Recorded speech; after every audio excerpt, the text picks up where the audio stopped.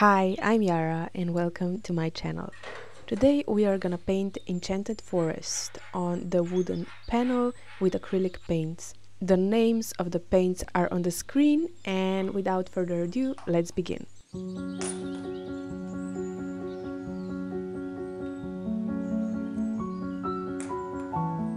This wooden panel was actually painted over. Um, I painted over this painting because I just hated it so much. I have painted it like in autumn last year and I just couldn't stand it. I had it uh, hanging there on the wall and I didn't like it from the beginning. Um, it was called Spiritus. I didn't like how it turned out.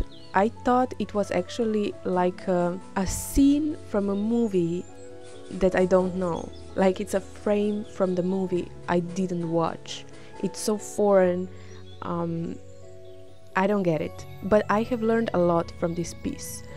Um, so, yeah, I actually don't hate any of my pieces. But, anyways, I have decided to paint over this painting and I sanded it again and painted it white a few times.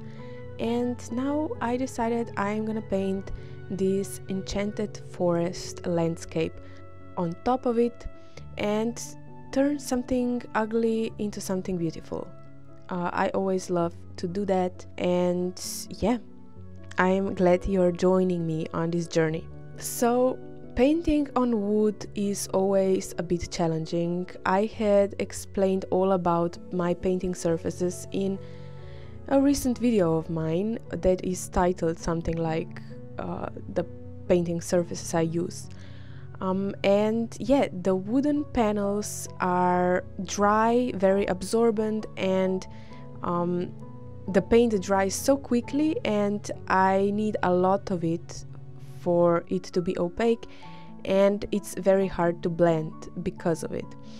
Um, and that's okay, that's okay because with the landscapes, I don't have to blend that much um, especially now that I'm starting to be a little bit more loose with my brush strokes and I'm just stopping to be so perfectionistic about blending and rendering everything um, until the perfect finish. Because it actually looks better with the brush strokes but anyways um, I paint over it two times with the base colors because I lay them down so they are opaque so I can start to layer shadows and lights and details on top of them. So at least two base layers as you see here until I can start to work on the leaves and the distant details and highlights and stuff. When I paint over stuff, I actually make sure to paint just a little bit more layers um, than if I would paint on the new canvas, a new surface. And that is just because I don't want it to come through in like 200 years. I don't, I want it to be there um, behind the paint forever. And yeah, because of that, I, I just make sure to layer a lot of layers, a lot of paint on top of the old painting. And about the glazing, I have decided to make it a challenge for this painting to really focus on the light, on this direct sunlight that is shining above the forest and those sun rays that are, are kind of um, going down through the trees on the forest floor. The two challenges that I took with deciding to paint this painting was old looking twisted trees and the sun rays. Um, those things are both hard on me and I am not used to them, they're not in my comfort zone. I always admi- admired those old looking, twisted, magical trees. Um, you know what I mean. Those trees in Pinterest or in uh, some old Louisiana movie, um, some ancient forest kind of trees uh, that are just so twisted so weirdly, but it just goes together somehow. And we don't have those kind of trees in Slovenia where I live in Europe, so I actually looked up references on the web and just practiced a little bit in my sketchbook before I started to paint this, but I was intimidated by those kind of trees for a long time, although I always admired them and actually always wanted to paint them, but I always just stuck to the like classical, um, normal looking trees and spruces, and yeah, because for some reason those twists and turns and textures were intimidating for me. Um, they just look kind of all over the place, kind of random, but they can go wrong so quickly. Like they can look very bad very quickly, those types of trees.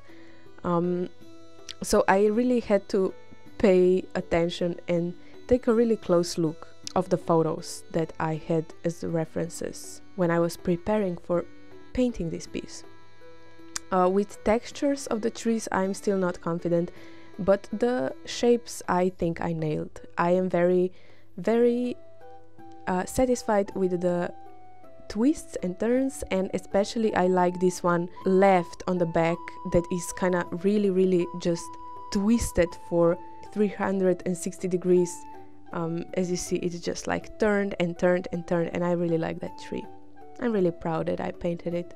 But yeah, Anyway, the second challenge, as I said, was about the light. Um, the direct light and the sun rays are really hard. I need the glazing medium to do that. And even with the glazing medium, it's still hard. But you know, I did it.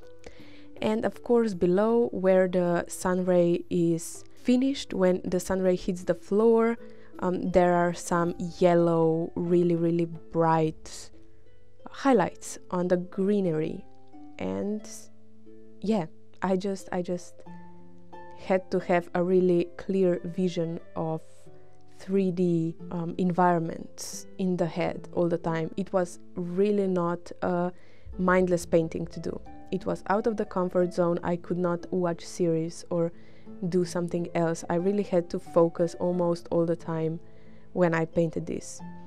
Um, and that's good you know that is cool um, to challenge brain a little bit and kind of use the brain use the brain in all this era of technology and um, all these helpers that we don't have to use the brain um, it's good to do something challenging for it once in a while what actually inspired this piece was my current obsession with uh, A Court of Thorns and Roses by Sarah J. Maas. Um, there are book series, and I love them. And I am just in the fantasy movie. My head is producing the images of the fantasy enchanted forests and landscapes, and I I'm enjoying it, really. And yeah, uh, this is just like the most the most classical, very normal fantasy enchanted forest scene that I could think of. It's like simple in my mind. It's what I think first when I think about fantasy forest is this path that you're seeing right now. For the final details, I have decided to paint a little blueberries, a little um, pink flowers that you don't see yet, and mushrooms. They are actually parasol mushrooms. Um, they grow here in Slovenia where I live uh, and they are edible. We eat them, we actually fry them um, or you know bake them uh, and they're good as like substitute for a steak. They are really tasty. And yeah they're called parasol mushrooms as the umbrella because they look like it. And i love it.